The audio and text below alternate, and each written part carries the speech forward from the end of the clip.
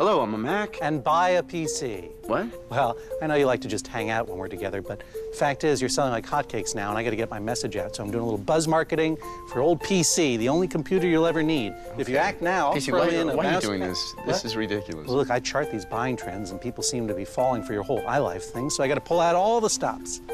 Supplies are limited. Operators are standing by. It's very subtle. Buy a PC.